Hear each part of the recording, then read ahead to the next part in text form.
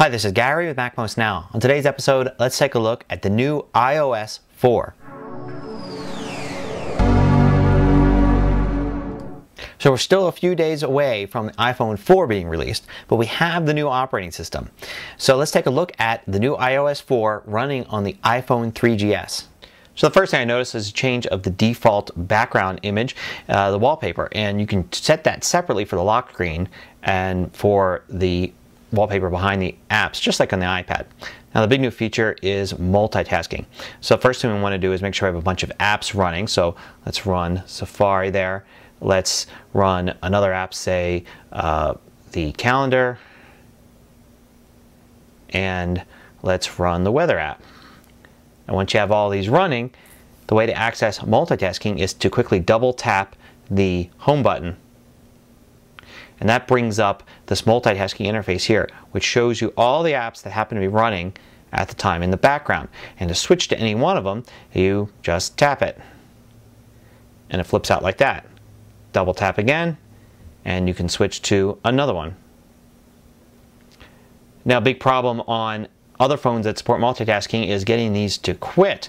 Doing it here on the iPhone, what you do is you, you tap and hold on any one of these apps and they shake just like you're going to move them around, but you have this little minus symbol. So you can quit any app running in the background just by tapping the minus symbol next to it.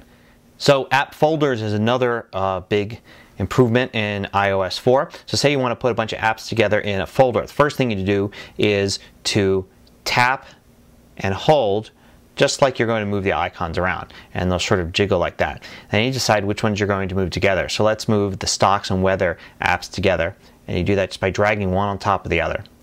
And it will enlarge, you drop it in there and it will give you a name and, and it will try to guess what kind of name you want for it. So uh, we'll leave it as the default name or you can change it there.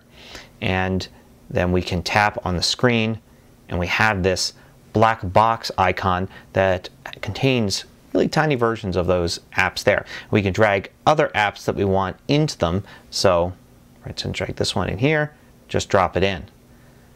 And then you can stabilize by pressing the home button again. And now we have three apps in there. If I tap it, it gives me this little menu here of the apps that are inside and I can choose which one it is that I want to run. So there are other improvements to the default apps. For instance, here we are in Mail. You can notice at the top, the name of the mailbox is All Mailboxes because you get to select either one of your mailboxes, one of your email accounts, or a screen that will show you all of the incoming messages for all your mailboxes, which is nice.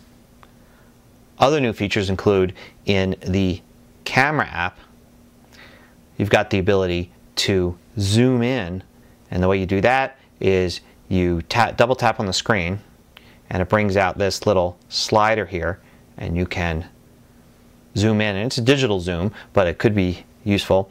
In the iPod app under playlist there's an add playlist and you can create a new playlist. And it works just like it does on the iPad. You can add different songs by just pressing the plus button there and edit them in various different ways under preferences, there's some new things you can do. For instance, you can set wallpapers for both the lock screen and behind your apps. Uh, under Safari, you can now choose Bing as an additional search engine there. So you can also add keyboards under Bluetooth keyboard here. You can select one, like say one of the Apple wireless keyboards, and then use that to type just like you can on the iPad. So to get iOS 4, all you need to do is sync your iPhone with your Mac or PC, have iTunes running, go to the summary screen for that iPhone and look under version, and there's a button for check for update. And this should find the new iOS 4 and give you the opportunity to install it. Now, iOS 4 only works on the 3G, 3GS, and the new iPhone 4. Now on the 3G, there's a much slower processor and Apple has disabled a lot of things such as multitasking in the new iOS 4. Matter of fact, some people are suggesting that you don't even get iOS 4 for the 3G. Just stick with the iPhone OS 3.0. And of course, you're going to be forced to do the same if you have the original iPhone as well. So I hope you like this look at the new iOS 4. Till next time, this is Gary Rosenzweig with MacMost Now.